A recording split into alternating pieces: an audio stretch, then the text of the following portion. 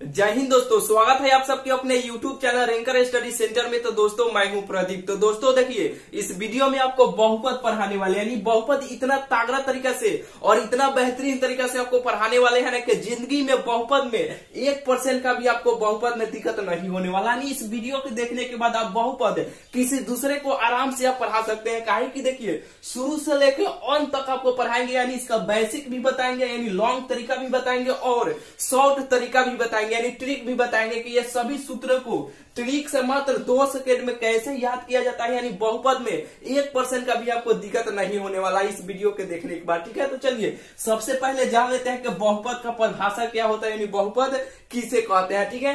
काहे की ज़िंदगी में कभी भी आपको दिक्कत ना हो, ठीक है? तो चलिए, सबसे पहले जान लेते हैं कि बहुपद क्या है, ठीक है? तो देखिए, बहुपद का परिभाषा यहाँ पे लिखा गया है, ठीक है? ये क्या लिखा गया आपको समझ में नहीं आएगा। जैसे कि देखिए, एक बार पहले आपको पढ़ के बता देते हैं, तब आपको समझ में आएगा, तब आपको समझाएँगे और बताएँगे, तब आपको बुझाएगा कि ये बहुपद क्या है। देखिए, बहुपद क्या है यानी वैसा व्यंजक जिसका घात, वैसा व्यंजक जिसका घात हमेशा धनात्मक पूर्णांक या पूर्ण संख्या के रूप में होता है, उसी को हम बहुपद कहते हैं, ठीक है? नहीं बुझाया, उसे कोई दिक्कत नहीं है। देखिए, वैसा व्यंजक तो व्यंजक क्या है, ठीक है? अब आपके ये मन में उठेगा कि व्यंजक क्या है। घात क्या है, ठीक है? ये धनात्मक पूर्णांक क्या है, ये पूर्ण संख्या क्या है, ठीक है? ये सब आपके सवाल उठेगा, ठीक है? तो चलिए, ये सब के पहले बारे में आपको बताते हैं कि व्यंजक क्या है, घात किया है, धनात्मक पूर्णांक यानी पूर्ण संख्या क्या है, तब तो आपको बुझाएगा कि बहुपद क्या है, ठीक है? तो चलिए, सबसे पहले आप कॉपी निकालिए, लिखिए व्यंजक क्या है, ठीक है? यानी व्यंजक, आप टॉपिक बनाइए, लिखिए व्यंजक क्या है काहे की देखिए। यहाँ पर बोर्ड पर लिख लिख कर आपको बताने लगेंगे, ना तो ये वीडियो थोड़ा बड़ा हो सकता है, ठीक है?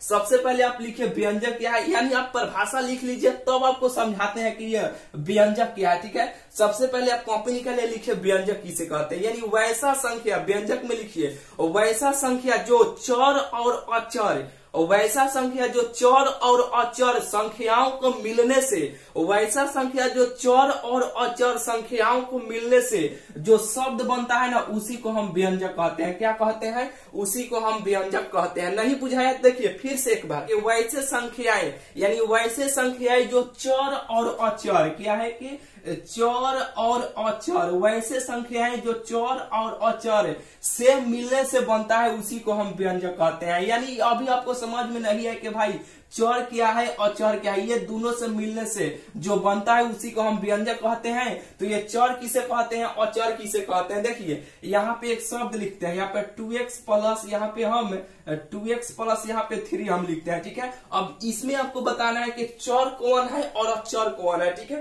तो देखिए, चर कौन है? देखिए, ये जो होता है ना, अंक वाला जो होता है ना, ये अचर होता है। कौन होता है? अचर होता है ये एबीसीडी देखिए। ए बी यहाँ पे देखिए, यानी A B C X Y Z ये सब जो होता है ना, वो चर होता है। कौन होता है? वे सब, ये सब चर होता है और एक, दो, तीन, यानी गिनती के संख्या जो रहता है ना वह अचर रहता है। क्या होता है? वह अचर रहता है। यानी देखिए, चर और अचर, देखिए, ये क्या है? ये अचर है ना, ये चर है। यानी चर और अचर संख्याओं के मिलने से जो शब्द बनता है ना, ये जो शब्द बना है ना, इसी को हम एक व्यंजक कहेंगे। क्या कहेंगे? इसी को हम व्यंजक कहेंगे। व्यंजक आपको बुझा गया, हालाँकि ये बोर्ड एग्ज़ाम में नहीं पूछा जाता है कि व्यंजक किसे कहते हैं, लेकिन ये जब ये परिभाषा में ये आया तो सबको जानना आपको ज़रूरी है। कभी भी कोई भी पूछ सकता है कि व्यंजक किसे कहते हैं बताइए। तो चौर और अचर, संख्याओं के मिलने से जो नया शब्द बनता है ना, या जो शब्द बनता है, उसी को हम व्यंजक कहते हैं। ठीक है, बुझा गया? बिल्कुल आपको ये व्यंजक आपको बुझा गया होगा। अब चलिए, ये घात क्या है? यानी घात क्या है? लिखिए। यानी कॉपी निकाल रहे हैं, ठीक है? अब लिखिए घात हेडिंग दीजिए। अब लिखिए घात किसे कहते हैं? यानी किसी भी संख्याओं में जो सबसे ज़्यादा पावर रहता है ना यानी किसी भी संख्या में जो सबसे ज़्यादा पावर जैसे कि देखिए यहाँ पे लिखते हैं यहाँ पे टू एक्स के पावर फाइव या थ्री एक्स पावर टू यहाँ पे थ्री एक्स प्लस फाइव ठीक है? इतना हम अंक लिखते हैं, ठीक है? हालाँकि ये देखिए, इसमें पूछा जाएगा कि पावर कितना है, यानी पावर का मतलब क्या होता है? घात होता है। यानी कोई भी संख्याओं में जो सबसे ज़्यादा जो पावर रहता है ना, उसी को हम घात कहते हैं। यहाँ पे देखिए, यानी सबसे ऊपर का है, पाँच है ना, इसी को हम घात कहेंगे, यानी इसी को हम घात कहेंगे, यानी इसी को हम पावर बोलते हैं, ठीक है? यानी ये किसी भी संख्याओं में जो सबसे ज़्यादा जो पावर रहता है ना, उसी को हम घात कहते हैं तो इसमें कोई पूछा जाए, पूछेगा कि इसमें ये जो संख्या है, ये जो व्यंजक है, इसमें आप बताइए कि इसमें घात कितना है। यानी घात आपको पूछा जाएगा कि सबसे ज़्यादा घात कौन है तो पाँच है, ठीक है? इसमें कितना घात है तो एक पाँच घात है, एक यहाँ पे दो घात है, इस पे कुछ नहीं तो एक घात है, ठीक है? पाँच को पाँच भी है, दो भी है, एक है। यानी पावर पे ऊपर जितना रहेगा ना, उसको हम घात कहेंगे, ठीक है? बिल्कुल आपको ये घात भी आपको बुझा गया होगा, व्यंजक भी बुझा गया, घात भी आपको बुझा गया। अब धनात्मक पूर्णांक या पूर्ण संख्या एक ही है, ठीक है? और पूर्णांक संख्या किसे कहते हैं? यानी पूर्ण संख्या किसे कहते हैं? देखिए, पूर्ण संख्या क्या किसे कहते हैं? यानी गिनती को संख्या, जैसे कि गिनती की संख्या एक हुआ, दो हुआ, तीन हुआ, चार हुआ, पाँच हुआ, ये सब गिनती की संख्या है ना? इसके पहले हम जब ज़ीरो लगा देंगे ना, वही पूर्ण संख्या हो जाता है। क्या हो जाता है? वह पूर्ण संख्या हो जाता है। तो ज़ीरो से जो स्टार्ट होता है ना, उसे हम लोग पूर्ण संख्या बोलते हैं। क्या बोलते हैं? उसे हम लोग पूर्ण संख्या बोलते हैं। इसी से अब ये बहुपद का परिभाषा क्लियर हुआ कि वैसी संख्या, यानी वैसा व्यंजक जिसका घात हमेशा धनात्मक पूर्णांक, यानी प्लस के रूप में हमेशा, प्लस के रूप में या पूर्णांक के रूप में, यानी पूर्णांक एक से ज़ीरो से स्टार्ट होता है, एक, दो, तीन, हमेशा ये प्लस में रहेगा पूर्णांक, यानी धनात्मक पूर्णांक के रूप में रहेगा ना वह बहुपद होगा, ठीक है? यहाँ पे उदाहरण दिया गया है, यानी अब यानी कैसे अब पहचानिए कि बहुपद इसमें इसमें कौन बहुपद है कौन नहीं है देखिए इसी से अभी ये, ये जो पूर्ण ये पूर्ण संख्या है ना इसी से हम लोग पहचानेंगे कि इसमें कौन ये बहुपद इसमें है कि नहीं है। कोई जैसे कि आपके जैसे कि आप चैप्टर बनाइएगा ना तो उसमें आएगा यानी वो टॉपिक रहेगा कि निम्नलिखित में से आप बहुपद पहचाने के बहुपद कौन है कौन नहीं है। तो देखिए कैसे आप पहचानिएगा देखिए पूर्ण संख्या आप याद रखिएगा कि पूर्ण संख्या यानी ज़ीरो से ज़ीरो एक दो तीन चार पाँच ये सब पूर्ण संख्या अगर ये सब रहेगा तो वह धनात्मक, यानी वह बहुपद है। अगर ये सब नहीं रहेगा तो वह ये घात में देखना है। काथ में देखना है, ये घात में ऊपर देखना है। ठीक है? अगर ये सब रहेगा, यानी पूर्ण संख्या है तो ये बहुपद है। नहीं बुझाया नहीं बुझाया, देखिए, यहाँ पे उदाहरण से आप समझिए। देखिए, जैसे कि यहाँ पे देखिए थ्री एक्स के पावर पाँच और प्लस टू एक्स। ये पूछा जाएगा कि ये बहुपद है कि नहीं है, कैसे पहचानिएगा? देखिए, यानी सबसे पहले आपको पता करना है कि ये ये जो पावर है ना, ये धनात्मक पूर्णांक है कि ना, ये पूर्ण संख्या है कि ना? तो इसमें देखिए, एक, दो, तीन, चार, पाँच, ये इसमें देखिए, पाँच आ जा रहा है कि नहीं यहाँ पे पाँच आ गया कि नहीं? जो पाँच ये लाइन में देखिए, बहुपद का परिभाषा क्या होता है? ये होता है, ठीक है? यानी पूर्ण संख्या तो ये पूर्ण संख्या यहीं पे आ गया तो ये क्या है? ये बहुपद है, ठीक है? ये क्या है? ये बहुपद है। बुझा गया? अब ये देखिए, अब ये बहुपद है कि नहीं है, कैसे पहचानिएगा? देखिए, यहाँ पर भी तो दो आ गया, ठीक है? ये पूर्ण संख्या यहाँ पे दो आ गया, और नीचे यहाँ पे देखिए, यहाँ पे एक्स है ना तो जब ऐसे देखिए, यहाँ पे टू एक्स स्क्वायर प्लस यहाँ पे थ्री है, ठीक है? ऊपर थ्री है नीचे एक्स है तो जैसे कि देखिए एक्स जब ऊपर जाएगा ना एक्स ऊपर जाएगा तो इसे हम लोग ट्वेल्थ में आपको पढ़ना है ठीक है इनवर्स के बारे में, यानी जब ये ऊपर जाता है तो इनवर्स चढ़ जाता है, यानी माइनस में आ जाता है, ठीक है? अब प्लस पाँच है, ठीक है? तो ये तो हो गया, ठीक है? ये तो पूर्ण संख्या आ गया, ठीक है? लेकिन ये जो माइनस में एक है ना, ये क्या, ये पूर्ण संख्या है? ये पूर्ण संख्या नहीं ना है? यहाँ पे देखिए माइनस में आ गया तो ये क्या होगा? ये बहुपद नहीं होगा। ये ऊपर माइनस में नहीं होना चाहिए, धनात्मक में होना चाहिए। हमेशा पूर्ण संख्या काठी में होता है, हमेशा प्लस में होता है। काठी में होता है, ज़ीरो से स्टार्ट होता है, एक, दो, तीन, चार, पाँच, गिनती के लिए अनंत तक जाता है, ठीक है? और वे सब घात में रहेगा वो बहुपद होगा। और नहीं रहेगा, यानी माइनस में रहेगा वो बहुपद नहीं होगा। बिल्कुल आपको बुझा रहा होगा, उसी तरह ये भी है, ठीक है? उसी तरह ये भी है, जैसे कि एक से स्क्वायर, ठीक है? अब माइनस जैसे कि एक साइड ऊपर जाएगा तो इनवर्स में हो जाएगा, यानी माइनस ऊपर चढ़ जाएगा तो ये तो है। पूर्ण संख्या है, लेकिन ये देखिए माइनस ऊपर चल गया तो ये ये भी नहीं होगा, ठीक है? यानी पूरा पूरी देखिए, यहाँ पे हमेशा धनात्मक, यानी पूर्ण संख्या के रूप में रहेगा, वही बहुपद होगा। और जो ये सब माइनस में ऊपर रहेगा, वो बहुपद कभी भी नहीं होगा। यहाँ पे देखिए, ये बहुपद हाई कि नहीं बताइए? देखिए, जैसे कि देखिए, इसके पावर कुछ नहीं छुपा हुआ तो इसके ऊपर में, यानी यहाँ पे कुछ नहीं है तो इसके पावर में एक छुपा हुआ है ना? एक जब छुपा हुआ है तो ये पूर्ण संख्या एक से स्टार्ट होता है ज़ीरो से स्टार्ट होता है, एक, दो, तीन, चार, पाँच तो एक यहाँ पे चल नहीं आया। एक यहाँ पे जब चल आया तो ये पूर्ण संख्या हो गया कि नहीं? ये पूरा पूरी पूर्ण संख्या होगा तो ये बहुपद होगा, ठीक है? हालाँकि देखिए, आपको ये बिल्कुल समझ में आ गया होगा कि बहुपद कैसे पहचाना है। यानी पूर्ण संख्या रहेगा, वह बहुपद होगा, यानी पूरा पूरी पूरा पूरी पूर्ण संख्या होना चाहिए, वही बहुपद होगा। अब पूर्ण संख्या नहीं रहेगा, यानी माइनस में जो भी रहेगा, ऊपर घात में देखना है। यहाँ पे इसीलिए ये परिभाषा लिखे हैं। आपको दिमाग में ये परिभाषा रखना है, ठीक है? कि वैसे व्यंजक, वैसा व्यंजक जिसका घात हमेशा धनात्मक पूर्णांक या पूर्ण संख्या के रूप में होता है, उसी को हम क्या कहते हैं? उसे हम बहुपद कहते हैं, पूर्ण संख्या रहेगा। उसे पहचान लीजिए कि बहुपद है या नहीं रहेगा तो वह, यानी क्या क्या है, ज़ीरो से स्टार्ट होता है। अगर ये सब घात के ऊपर लगा रहेगा और माइनस में नहीं रहेगा, वह बहुपद होगा, नहीं तो वह नहीं होगा, ठीक है? बिल्कुल आपको ये बुझा गया होगा। चलिए, इतना तो आपको क्लियर हो गया होगा, ठीक है? अब चलिए, ये ऑब्जेक्टिव क्वेश्चन में यहाँ से सवाल बनता है। हर साल ऑब्जेक्टिव क्वेश्चन में पूछा जाता है कि रैखिक बहुपद के शून्यकों की संख्या कितनी होती है? देखिए, रैखिक कहिए या एक कहिए, रैखिक कहिए या एक कहिए बात एक ही है यानी रैखिक या एक एकैकिक एकैकिक यानी एक आ रहा है तो रैखिक बहुपद के शून्यकों की संख्या कितना होता है? एकैकिक यानी एक। अब यहाँ पे द्विघात बहुपद के शून्यकों की संख्या, द्वि द्वि द्वि तो दुघात कितना तो दू। यहाँ पे त्रिघात तो तीन। कितना होता है? तीन होता है। ये बिल्कुल आपको बुझा गया होगा, यानी त्रिघात, यानी त्रि तो तीन। यहाँ पे द्वि तो दुई अब चार आ जाएगा तो चार। पाँच आएगा तो पाँच। यानी इस तरह आप बना लीजिएगा, ठीक है? ये हर साल ऑब्जेक्टिव क्वेश्चन में यहाँ से, यानी यहाँ से ऑब्जेक्टिव क्वेश्चन बनता है कि द्विघात बहुपद के शून्यकों की संख्या बताइए कितना होता है तो द्विघात।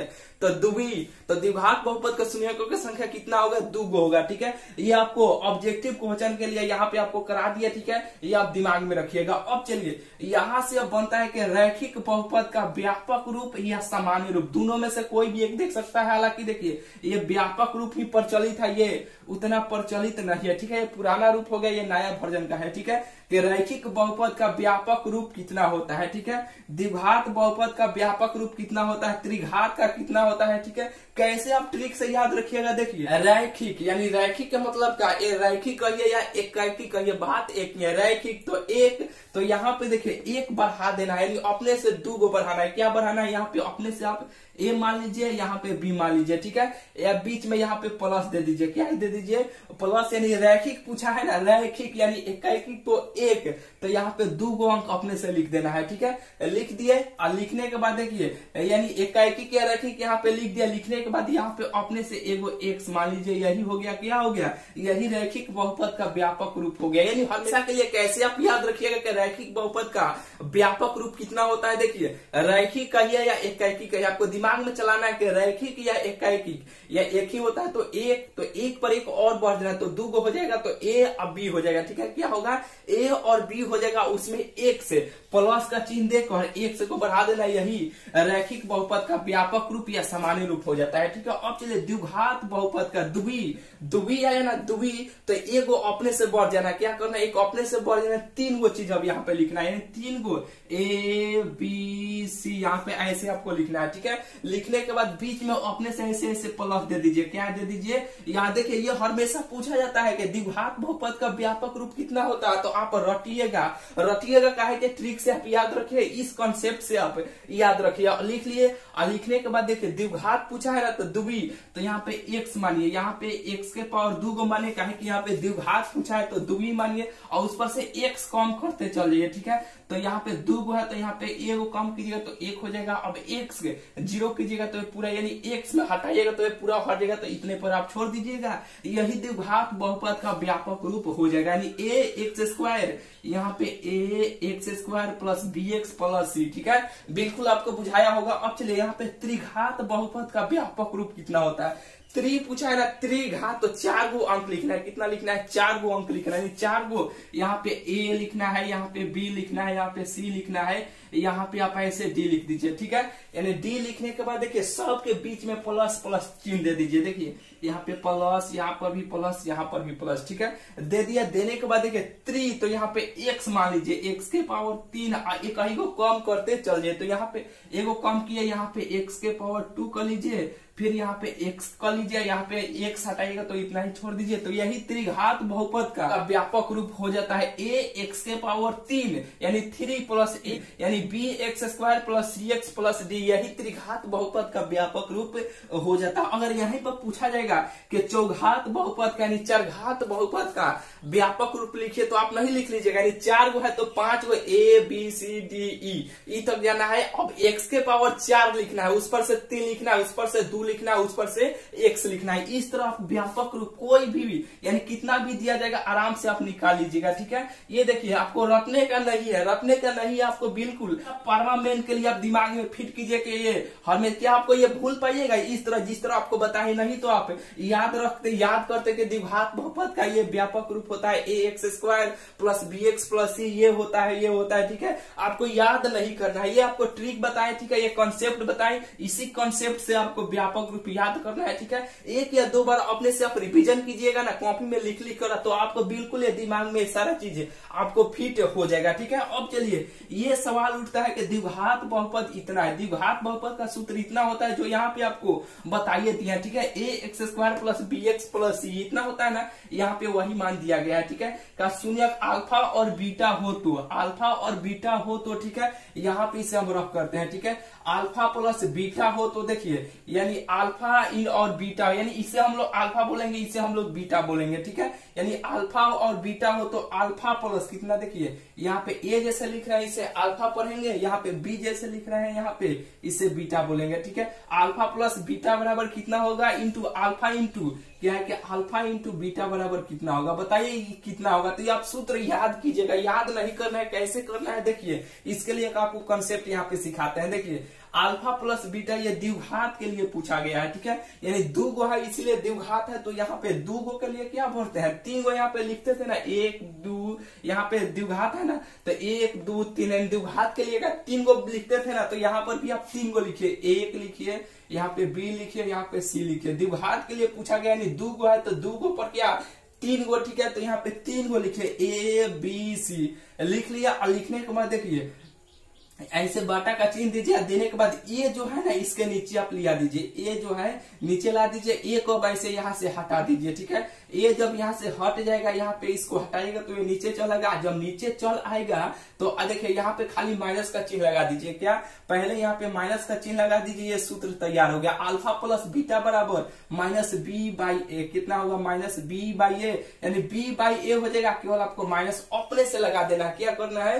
अपने से लगा देना है ठीक है? अल्फ़ा इंटू बीटा बराबर सी बटा ए क्या होगा सी बाटा ए ठीक है? अल्फ़ा इंटू बीटा बराबर क्या होगा सी बाटा ए होगा, ठीक है? बिल्कुल आपको यह सूत्र बुझा गया होगा यह सूत्र बहुत यूज़ करे पड़ेगा, ठीक है? जब आप बहुपद का चैप्टर का सवाल बनाइएगा तो ये बहुत ज़्यादा यूज़ होने वाला है कि अल्फ़ा प्लस बीटा बराबर कितना होता है तो अल्फ़ा प्लस बीटा बराबर माइनस वी बाई ए होगा इंटू बीटा बराबर सी बाटा ए होगा, ठीक है? इतना आपको यह सूत्र बिल्कुल आपको बुझा गया होगा, अभी आपको याद भी हो गया होगा, चलिए। अब यहाँ पे आता है, देखिए, अगर ये तो था द्विघात के लिए, अगर यहीं पे दिया जाएगा त्रिघात बहुपद। अगर ये तीन गो है अल्फ़ा प्लस बीटा और गामा देखिए, इसे हम लोग क्या पढ़ेंगे? यहाँ पे हम लिख भी देते हैं। यहाँ पे अल्फ़ा पढ़ेंगे, ठीक है? इसे हम अल्फ़ा पढ़ेंगे, इसे हम बीटा पढ़ेंगे, क्या पढ़ेंगे? इसे हम, यहाँ पे हम इसे, ऐसे लिख देते हैं, ठीक है? यहाँ पे हम लोग इसे बीटा पढ़ेंगे, ठीक है? बीटा पढ़ेंगे, इसे हम लोग गामा पढ़ेंगे। क्या पढ़ेंगे? इसे हम लोग गामा पढ़ेंगे। क्या पढ़ेंगे? इसे हम लोग गामा पढ़ेंगे, ठीक है? इसे गामा इसे बीटा, ठीक है? इसे अल्फ़ा, ठीक है? Alpha, beta, gamma.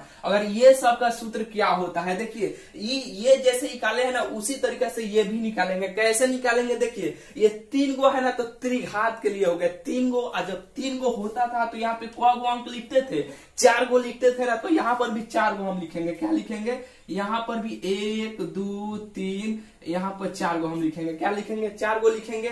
और लिखने के बाद देखिए, जो ए है ना, ए को हटाएँगे। ए को हटाएँगे और इसके नीचे लेके चल जाएँगे। क्या करेंगे? ए को हटाएँगे और इसके नीचे लेके चल जाएँगे। तो यहाँ पे ए यहाँ पर आ गया, ए यहाँ पे आ गया, ए यहाँ पे आ गया, ठीक है? अब ए को ना हटा है? तो ए हट गया तो नीचे गया। तो देखिए, यहाँ पर माइनस दे दीजिए, यहाँ पर भी माइनस आप दे दीजिए। हो गया, ये सूत्र तैयार हो गया। Alpha plus beta plus gamma बराबर कोई भी पूछेगा कितना होता है। तो अगर ये सूत्र आप भुला जाते हैं तो इस तरीका तीन गो है। तो तीन गो पर से क्या? चार गो। तो ए बी सी डी लिख लीजिएगा ए को नीचे बैठा लीजिएगा। ए को बैठा लीजिएगा और पहले और लास्ट में केवल माइनस लगा दीजिएगा। ये सूत्र तैयार हो जाएगा। क्या होगा? ये सूत्र तैयार हो जाएगा तो alpha plus beta plus gamma बराबर कितना होगा? माइनस बी बाई ए होगा। कितना होगा? माइनस बी बाई ए होगा। अल्फ़ा इंटू बीटा देखिए, इसी को गुना किया गया। अल्फ़ा बीटा ठीक है? अल्फ़ा बीटा ये हो गया।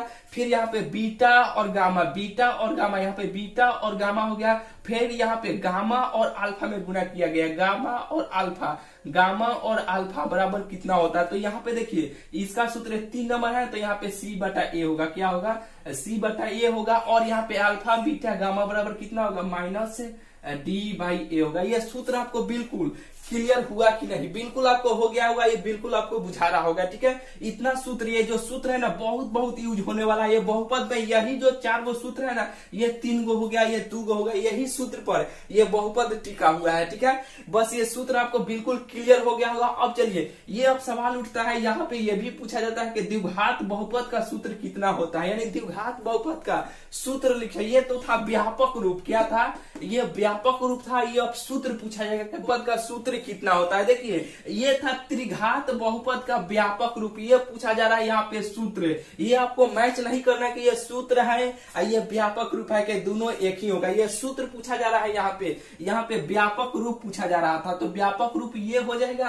अब सूत्र कैसे निकलेगा? देखिए, ये व्यापक रूप कितना होता है? द्विघात बहुपद का ये होता है। यही ना था A X square plus B X plus C जो यहाँ पे लिख चुके हैं, ठीक है? तो चलिए, ये सूत्र त्रिघात द्विघात बहुपद का सूत्र कैसे आप निकालिएगा इसी के सहारा से, इसी के सहारा से अब द्विघात बहुपद का सूत्र भी आप निकालिएगा, कैसे निकालिएगा देखिए, यहाँ पे जो एक्स स्क्वायर है ना, उसी तरह यहाँ पे ऐसे रहने दीजिए। क्या कीजिए? उसी तरह यहाँ पे वैसे ही रहने दीजिए रहने दीजिए, ठीक है? देने के बाद देखिए, यहाँ पे एक्स है, यहाँ पे एक्स है तो यहाँ पर भी एक्स इसी तरह आप लिख लीजिए बी का मान तो बहुपद में से ही बी का मान आपको यहाँ से निकालना है। कहाँ से? ये द्विघात बहुपद था ना तो इसका अल्फ़ा प्लस बीटा यहाँ पे अल्फ़ा प्लस बीटा का सूत्र क्या होता था? अल्फ़ा प्लस बीटा का सूत्र यहाँ पे दिया गया है ना? तो यहीं से बी का मान निकालना है। क्या करना है? यहीं से बी का मान निकालना है। केवल ए को हटा देना है तो ये बी का मान हो जाएगा। क्या होगा ये बी का मान हो जाएगा alpha plus beta alpha plus beta लेकिन ये माइनस में है, ठीक है?